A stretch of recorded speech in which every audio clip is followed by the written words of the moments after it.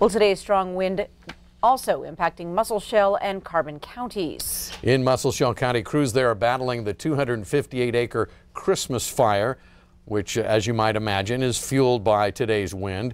35 firefighters from three local departments are on the scene there battling the flames.